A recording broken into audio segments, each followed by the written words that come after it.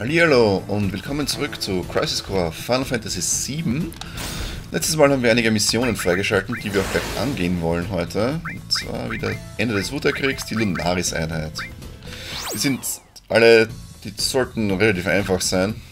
Und es gibt nichts Besonderes hier zu bekommen. Allerdings das Einzige, was es vielleicht wert wäre, hier vorbeizuschauen, ist ein neuer Shop, den wir uns dann am Ende der sechsten Mission quasi als Belohnung bekommen und uns natürlich dann auch gleich anschauen werden. Ah, ah, da ist noch eine Kiste. Natürlich ist dann noch eine Kiste, aber klar. Au, was soll das?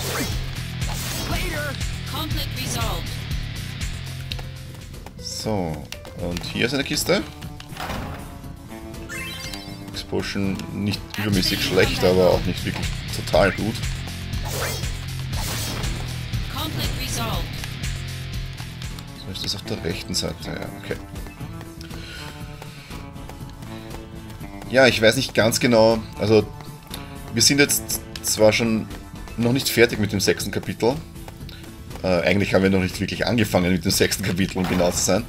Äh, weil es geht ja noch nach Modeo heim, wie uns NGU schon verraten hat. Aber ähm, ich war etwas überrascht darüber, dass man hier quasi mitten in der sechsten Mission so, so, eine, so eine kleine Nebenmission machen muss, die mit der Story-Mission eigentlich nicht wirklich etwas zu tun hat. Die ganze Lunaris, also der ganze Lunaris-Zeug da, das hat nicht wirklich etwas damit zu tun, worum es in der sechsten, im sechsten Kapitel wirklich geht. Und kurz die nächste Mission starten.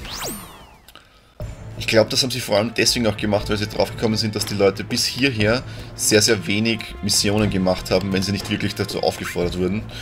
Und um ihnen die Vorteile von Missionen genau nochmal darzulegen, indem man bekommt ja ziemlich viele Items und levelt auch relativ gut.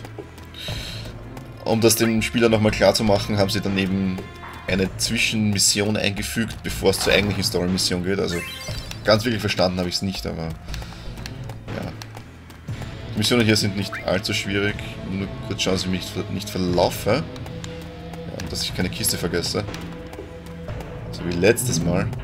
Zumindest keine wichtige. Also es gibt hier keine wirklich wichtige Kiste deswegen, weil die ganzen Items, die man bekommt, sind meistens nur so normale Substanzen, Elixiere, Ether, ja, Allheilmittel, X-Potions ist nichts, was man wirklich extrem dringend brauchen würde. Man nimmt es natürlich mit, um es nicht kaufen zu müssen und vor allem, weil man es bei der äh, Substanzfusion dann noch brauchen kann. Ah, gut versteckte Kiste. Federkappe. Da mache ich mir übrigens nicht mal die Mühe, um hier wirklich äh, um mir wirklich Barriere aufzusetzen, weil die sind alle so einfach noch, dass sich das nicht auszahlt. Au. Okay. Da hätte mir Barriere sowieso nicht geholfen. Wirklich gern hätte ich vielleicht...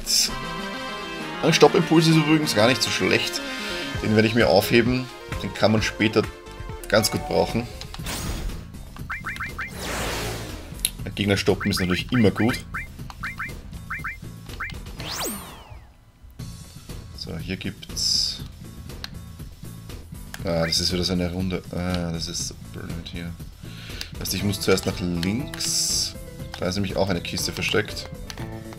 Ja, natürlich genau am anderen Ende. Es sind zwei Kisten sogar, sogar versteckt. Wahnsinn. Aber wenigstens ist es eine neue Karte. Auch, sie sieht zwar nicht viel anders aus als die anderen Slam-Karten, aber sie hat eine, ein neues Layout zumindest. Also dieses Layout kommt sehr selten vor im Slam. Also. Zumindest in den ersten paar Missionen. Es ist mir sogar recht, dass ich... Hm, komm. Au. Da ist noch einer. Okay. War es doch keine gute Entscheidung, hier den Kampf anzutreten, sondern hätte ich doch an der Wand weitergehen sollen. Aber Level Up für TP-Verstärker. Juhu.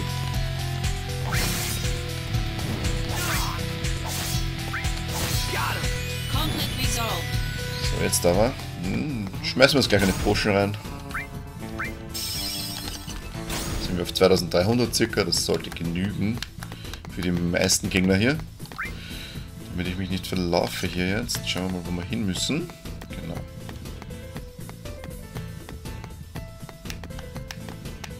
Die Frage, ob da rechts jetzt auch noch ein, eine Kiste ist. Nicht. Okay. Dann gehen wir gleich links weiter zum Endgegner.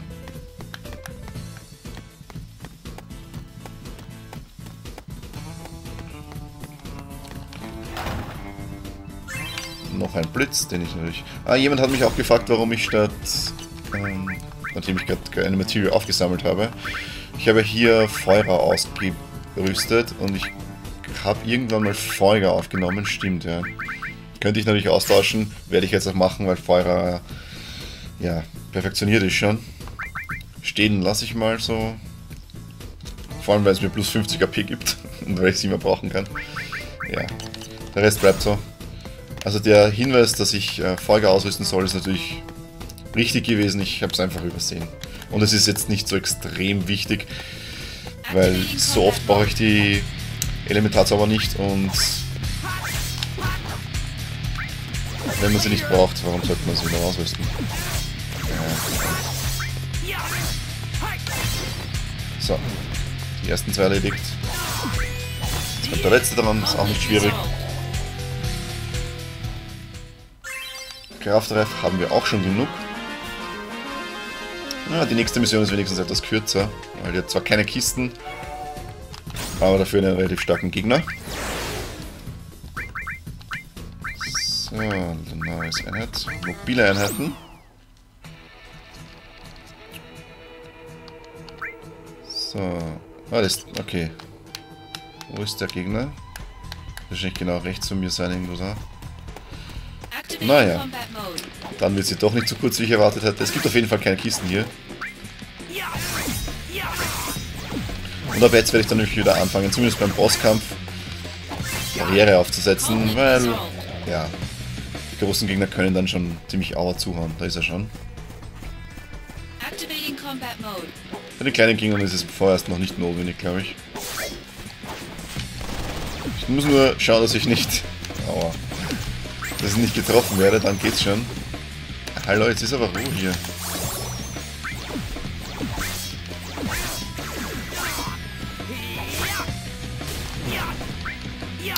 Wahnsinn, wie viel Schaden die machen. Natürlich würde es sich vielleicht hier jetzt auch auszahlen. Ah, Level up, juhu. Ähm, nicht die Hermes-Stiefel, sondern noch einen Schockabsorber auszurüsten, weil der Schockabsorber bringt immerhin 40 Konstitution, was schon relativ viel ist eigentlich. Schauen wir mal, ob das vielleicht nicht eine gute Idee wäre.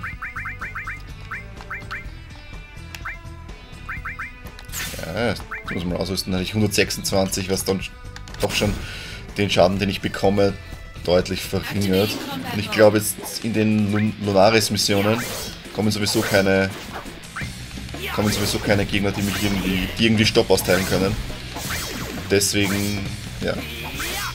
Bei den zwei Endgegnern in der 6 Mission weiß ich es nicht auswendig, aber ich glaube, die können es auch nicht, deswegen ich behalte es mal so und rüste es nur dann gegebenenfalls um, falls ich es wirklich brauchen sollte. Aber hier, zuerst Barriere, dann fangen wir auch mal wieder an zu stehlen, wenn es geht.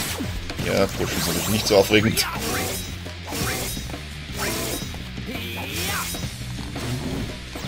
Ansonsten geht er genau wie alle anderen Gegner seiner Art.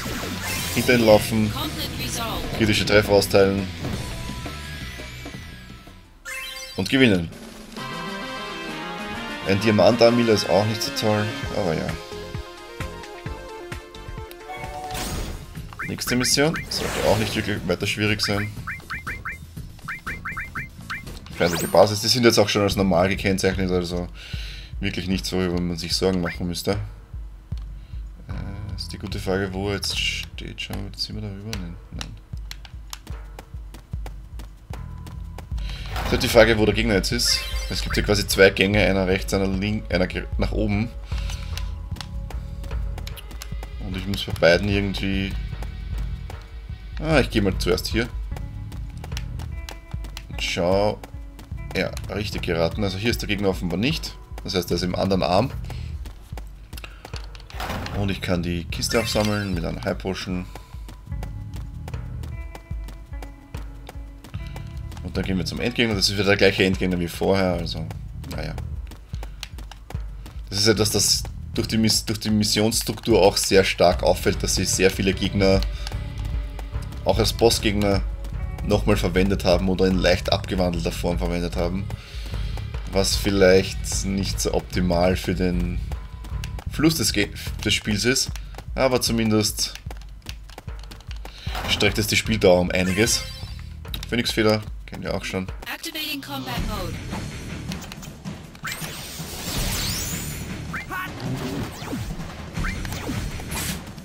Ja, auch nochmal eine Potion. Ich glaube, man kann maximal eine X-Potion von ihm stehen, wenn ich mich richtig erinnere. Das heißt, ich probiere es hin und wieder mal. Aber es kostet mich ja nur eine Aktion und die zwei Sekunden, die das dauert, habe ich ja noch. Ah, und hier bekommen wir eine neue Substanz, Tod. Die haben wir noch nicht gesehen. Werden wir auch nicht verwenden, glaube ich. Aber ich schaue sie mir kurz mal an.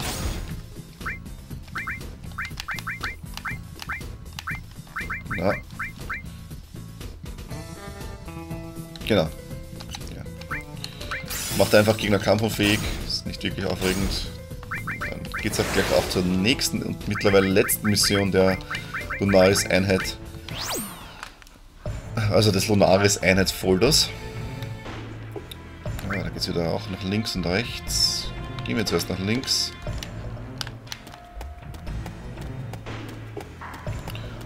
sammeln Kisten ein. Was gibt es hier überhaupt? Ja, irgendwo ist nämlich in der Kiste hier... Nein, das war's nicht. In, ein, ups, in einer der Kisten hier ist nämlich dieser Shop versteckt. Den bekommt man nicht als Belohnung, sondern nur als Shop, also als, als Kisteninhalt. Das heißt, man muss wirklich alle Kisten aufsammeln jetzt, wenn man will, dass man den neuen Shop bekommt. Und das wollen wir natürlich.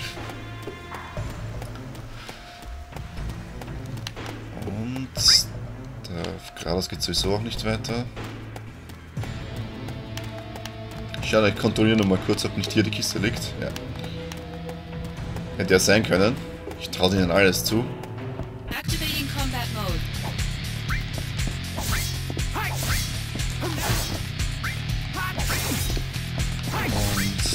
noch? Ein Elixier gibt's auch noch zu finden hier.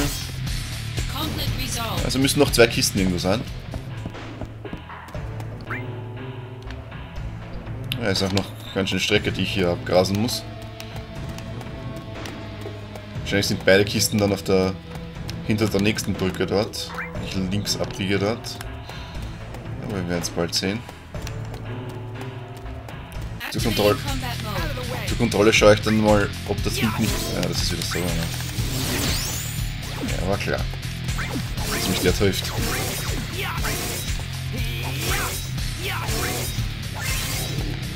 Ah, da hinten ist noch eine Kiste. Okay, dann gehen wir gleich dort hinten mal hin. Der Endgegner ist offenbar auch nicht hier, also... Frohes Kisten sammeln. Dann haben wir das Schildkrötenparadies mal 1. Das ist eben dieser neue Shop. Wobei das Schildkrötenparadies auf Deutsch wahrscheinlich eine der besten Übersetzungen überhaupt im Final Fantasy, Final Fantasy Universum ist. Weil auf Englisch heißt das Schildkrötenparadies nämlich Happy Turtle. Und ich finde den Namen Schildkrötenparadies sogar noch etwas besser und eingänglicher und lustiger als Happy Turtle. Also, da, wo ist jetzt mein Elixier? Ah, hier ist es. Also da haben sie bei der Übersetzung ganze Arbeit geleistet.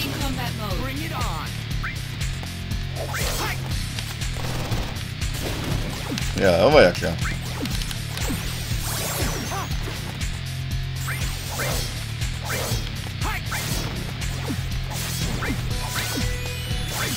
Kämpfe sind nicht wirklich aufregend, wie wir sehen. Sie sind zwar schon halbwegs knackig, sagen wir so, aber wenn man sich bis jetzt ganz gut geschlagen hat, sollten sie kein Problem darstellen.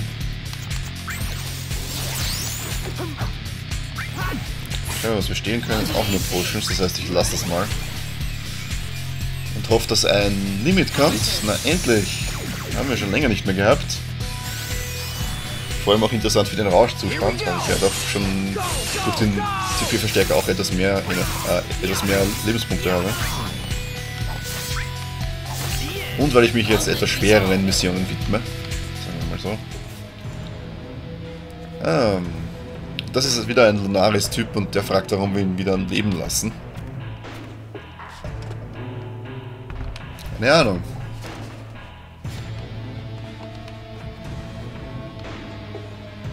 Ja, und Helden können keine Leute, die am Boden liegen, liegen herumtreten oder so. Also.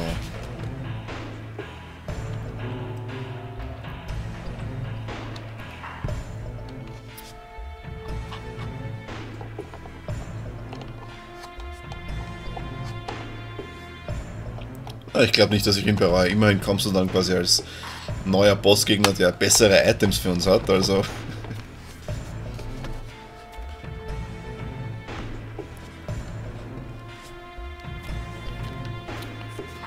Ja, ich glaube nicht, dass das das letzte Mal ist, dass wir den Lunaris-Kommandanten gesehen haben. Und als Belohnung für all unsere Mühen bekommen wir noch ein Gebirgs-Chocobo-Armband. Naja.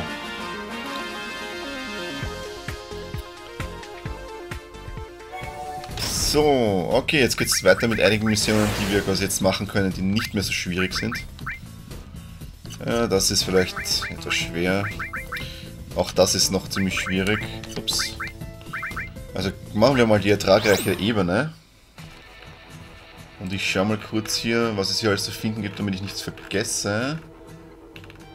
Äh, wo ist es? Da auch nichts. Genau. Moment. Was gibt's da? Ah, keine Kisten. Was? Es gibt hier keine Kisten? Saftladen. Tatsächlich. Naja, gut, okay. Activating Combat Mode. Ah, jetzt soll ich dann wieder anfangen, mir ähm, Hermestiefel anzuziehen, weil ich glaube fast, dass die dass hier wieder Gegner kommen, die mich stoppen können, was dann etwas unangenehm sein könnte. Also, Hermestiefel. Ups.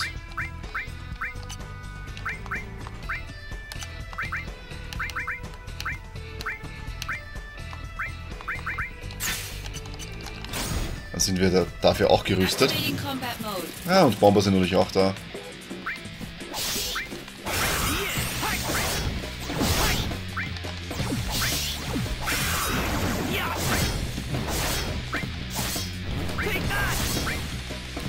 Lustige ist, während er die Animation vom Block, äh, vom Vergrößern hat, kann man ihn nicht angreifen, also kann man ihn schon angreifen, aber man kann ihn nicht, kann, man kann keinen Schaden austeilen auf ihn. Wo sind jetzt die Gegner überhaupt? Ich dachte, sie sind auch hier. Ah, sie sind eh dort. Okay, man sieht sie noch nicht, weil es kleine Käfer sind. Okay, na dann. Ja, aua. Ja, das ist vielleicht nicht so toll. Danke. Können wir das vielleicht stoppen hier? Danke.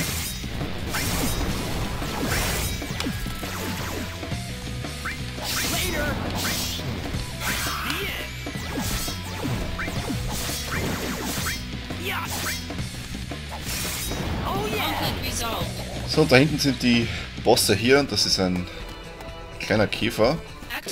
Nicht nur einer, sondern er bringt seine zwei Freunde mit. Und das heißt für uns, wir werden zuerst die Käfer machen. Der Typ kann uns wieder natürlich stoppen mit seinem Shooter-Angriff. Deswegen Hermestiefel ausrüsten, sonst... Es ist nicht so, dass man so extrem gut sterben könnte hier, aber bevor man, bevor man hier in Stoff steht, ist es natürlich besser, die Hermestiefel ausgerüstet zu haben bevor wir... Ja, der Mief ist natürlich auch unnötig. Teilt irgendwas aus. Ah, Fluch. Naja, gut, okay. Nicht so tragisch. Können wir ein Heilmittel dagegen... Oh, wow. Gut. Bevor wir das weitermachen, schauen wir mal, ob wir den Fluch mit Medica wegbekommen. Ja. Weil Fluch ist natürlich deswegen blöd, weil, weil sich dann unser Glücksrad nicht dreht. Und unser Glücksrad bringt uns Limits und Limits sind cool. Deswegen Fluch einfach loswerden. Theoretisch teilt dieses Mief, glaube ich, auch Stille aus. Deswegen ist es sehr wichtig, hier auch in Stille gewappnet zu sein. Aber das sind wir alles schon. Kein Problem für uns, wir sind ordentlich ausgerüstet und bekommen einen Quadra-Slot hier. Äh, und als Belohnung für die Mission eine Chocomops-Feder, oder zwei sogar. Bekomme ich da irgendwas Tolles eigentlich? Hm.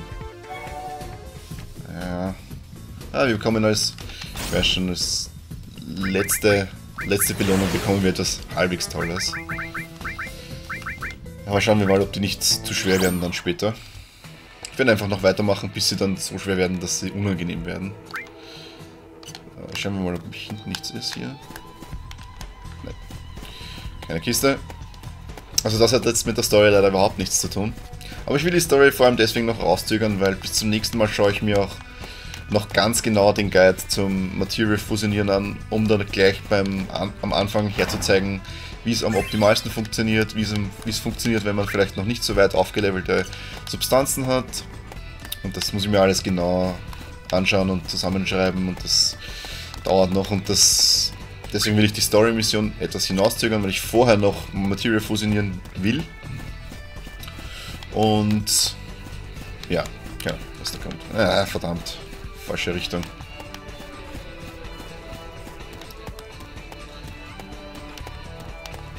Vor allem die nächste Story-Mission ist. Er hat. Ja, ist für die Story wahrscheinlich am relevantesten überhaupt. Also das ist eine der cool. Au, verdammt. Das ist natürlich nicht so toll. Das heißt, wir müssen die Mission nochmal starten. Das ist der Grund, warum man normalerweise hier jetzt immer Barriere zaubert. Scheiße. Also, Missionen. Ups, falsch. Natürlich ist die jetzt nicht mal als neu gekennzeichnet, weil ich sie ja schon probiert habe. Aber wir haben die Kiste schon bekommen. Das heißt, wir müssen uns nicht hier anstrengen, die erste Kiste zu bekommen, was nicht wirklich Anstrengung war, aber ja. Lustig finde ich auch, dass alle Kisten, also zumindest alle Kisten, die ich kenne, stehen auf jeden Fall irgendwo am Rand von einer Zone. Nee, voll, ja. Das ist deswegen lustig, weil wenn man, wenn man sich die Kisten holt, macht man intuitiv das, äh, was vermeidet, dass man Zuflusskämpfe bekommt. Und das ist, ich weiß nicht, ob das gewollt war von den, von den Entwicklern so, dass man quasi durch die Kisten gelernt bekommt, immer am Rand zu gehen und wenn man am Rand geht, bekommt man keine Zufallskämpfe. Vielleicht aus Absicht, vielleicht ist es auch einfach nur Zufall. Ich weiß es nicht. Auf jeden Fall brauchen wir hier jetzt Barriere.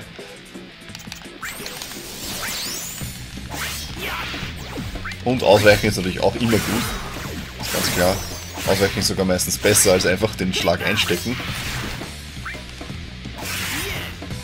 Das sind übrigens jetzt schon auch schon Gegner, die sich dann wehren können, wenn sie quasi von mir dauernd angegriffen werden. Was alles für eine High Potion, na toll. Das heißt, die sind schon ganz gut unterwegs.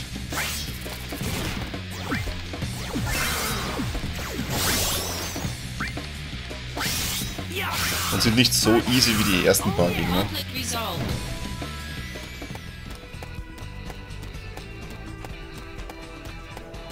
So, ein Gegner kommt noch. Glaube ich zumindest, dass ich jetzt noch einen. Nein, doch nicht. Okay. Dann auf zum Endgegner. Nicht vergessen, unbedingt Barriere setzen. Und den Schulterschlägen idealerweise ausweichen. Oh, Disney. Super. Vielleicht bekommen wir das Limit, ja. Wäre ganz gut. Yay. Brauchen wir es nicht heilen. Und dadurch, dass die beiden zusammenstehen, können wir jetzt quasi doppelte kritische Treffer austeilen.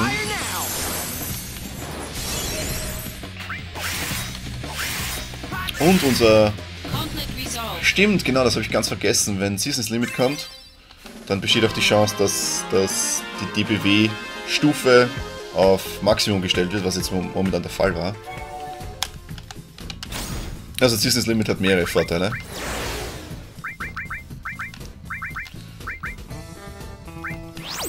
Ein Fusions... Ah ja, stimmt. Ein Fus nicht nur eins, sondern insgesamt drei Fusionsutensilien bekommen wir hier. Äh, allerdings gibt es hier wieder keine Kisten und die Gegner sind wieder dort, wo wir es schon vermuten oder kennen.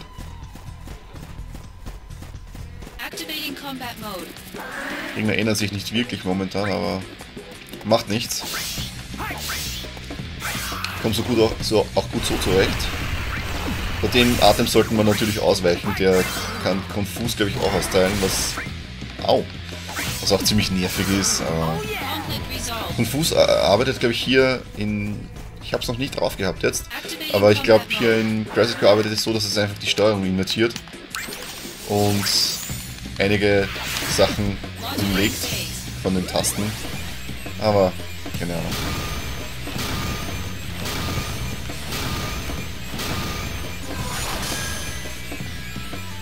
Da kommt Seffi. Und wir sind voll im Rausch. Concentrate. I'm feeling it.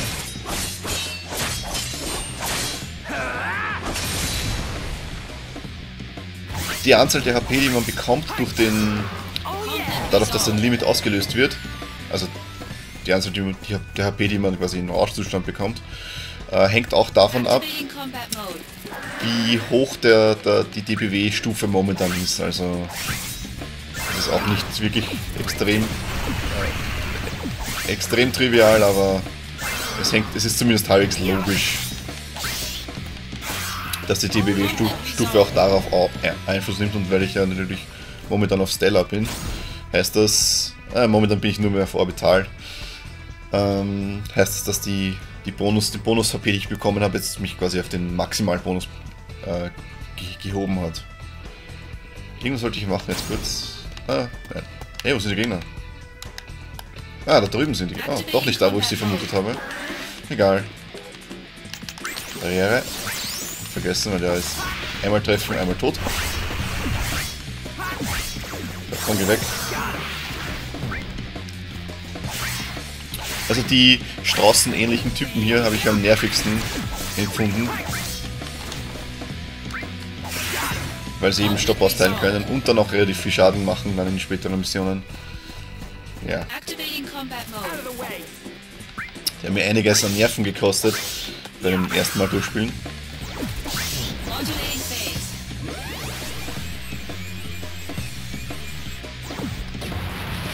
Juhu! Limit ausgelöst, das heißt... Ja, unsere Limitstufe sinkt schon wieder. Verdammt. Was soll das? Here we go! Go, go, go! Sehr unnötig, wirklich.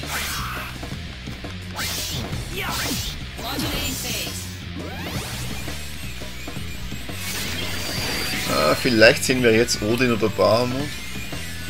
Wir haben beide noch nicht gesehen. Odin, Odin, yeah! Das erste Mal Odin. Juhu! Okay, dann schauen wir uns die mal an.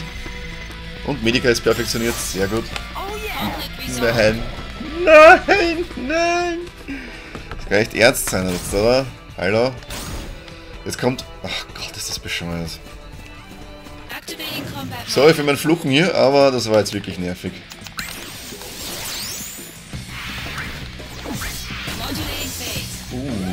Der macht sogar 1300 Schaden, ohne dass ich... Ah, okay, Zit, sehr gut. Der macht sogar 1300 Schaden. Was soll das? Ohne dass ich... Äh... Hey, bin ich jetzt... Ah, das ist... Ah, die teilen nicht Stopp aus, die teilen benommen aus, was natürlich auch blöd ist.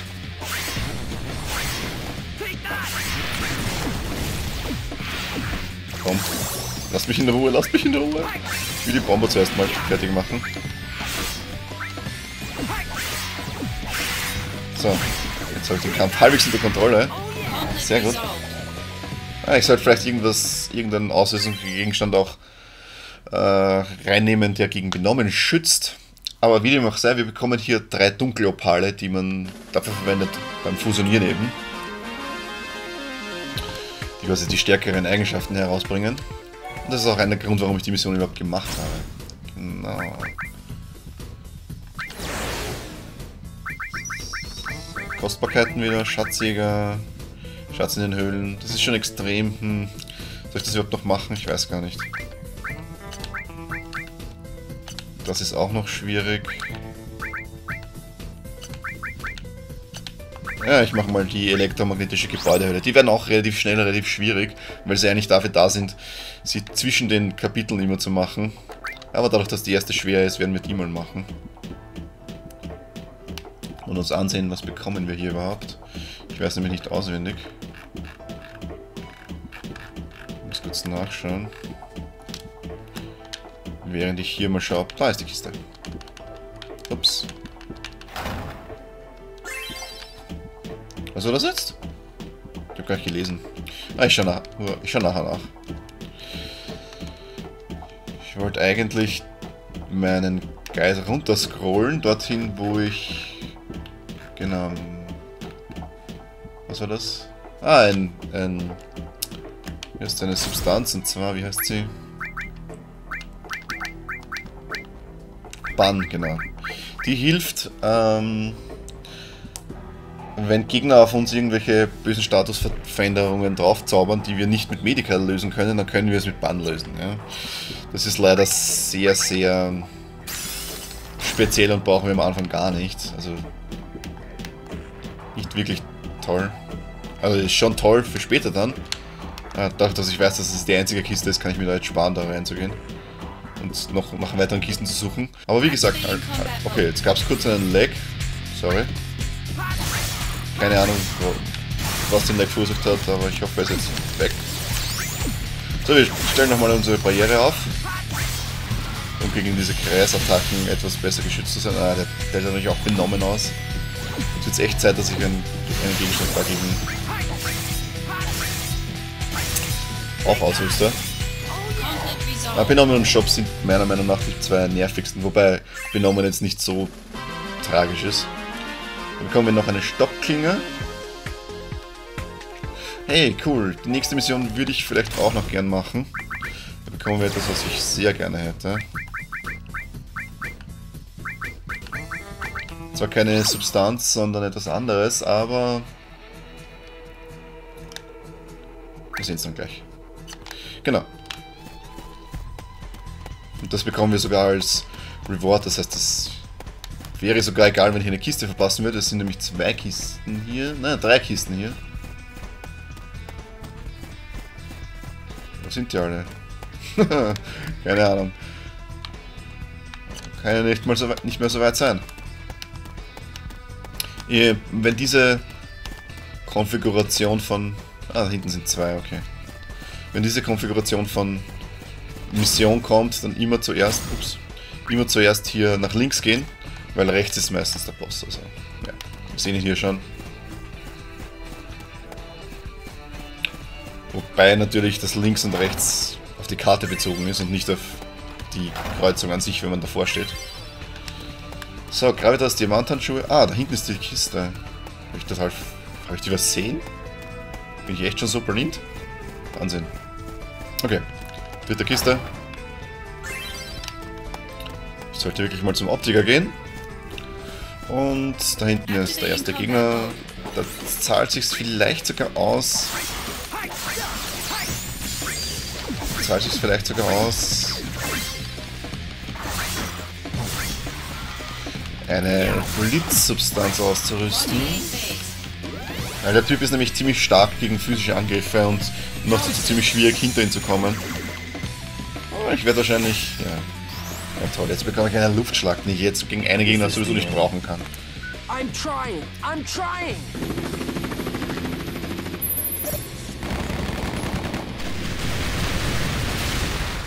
Oh yeah. Ja, toll. Also ich rüste mal Blitz aus. Den stärksten Blitz, den wir haben.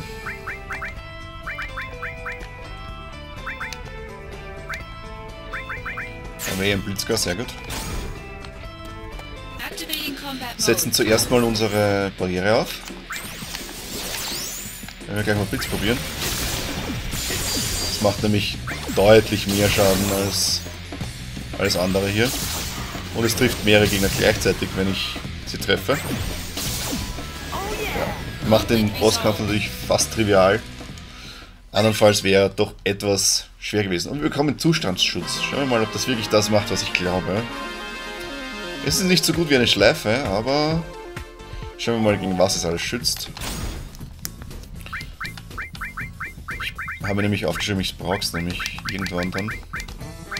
Habe ich den schon gehabt? Also, Utensilien, sortieren, automatisch, ausrüsten, Zustandsschutz, wo ist er? Da ist er nicht, da ist er auch nicht, auch nicht, auch nicht. Stiefel. Federkappe. Das ist übrigens das Item, das mir, das mir ermöglicht, bis zu drei, dreifachen, dreifache TP zu bekommen. Wo ist der Zustandsschutz jetzt?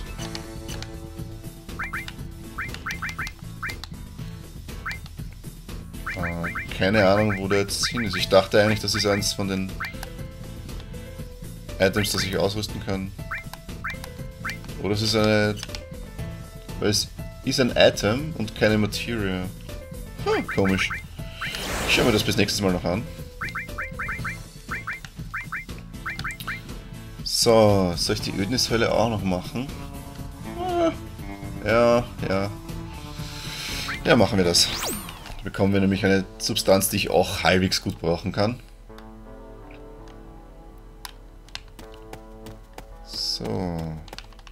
Hier. Potion ist natürlich ups, nicht so toll. Nach rechts, dann nach links. Ja, scha schauen wir jetzt erstmal, was in der nächsten Kiste drinnen ist. Es sind nämlich noch zwei Kisten, stimmt? Nein. Eine Kiste ist noch. Okay. Stimmt. Elixier, okay. Ja, das sind nämlich diese blöden Zustandsausteiler wieder. Ups, sollte ich natürlich nicht. Lotto Kürbisatem kann mir gestohlen bleiben.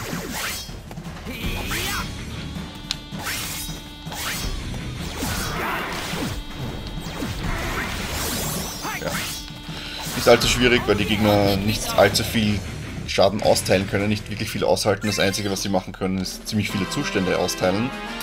Und das ist nicht wirklich toll.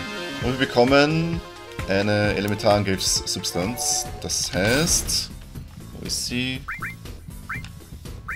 Hatte ich die schon? Ne, ich glaube nicht, oder? Genau. Genau, bindet die Elemente beschaff elementare Beschaffenheit gleichzeitig ausgerüsteter Materia an den Angriff. Das heißt, wenn ich die ausrüste und gleichzeitig Feuerer oder Feuer ausgerüstet habe, dann mache ich einen Feuerangriff. Wenn ich gleichzeitig Feuerer, Blitzerer und Eiserer ausgerüstet habe, mache ich einen Feuer-Blitz-Eisangriff. Ziemlich cool, äh, werden wir später noch verwenden, jetzt noch nicht.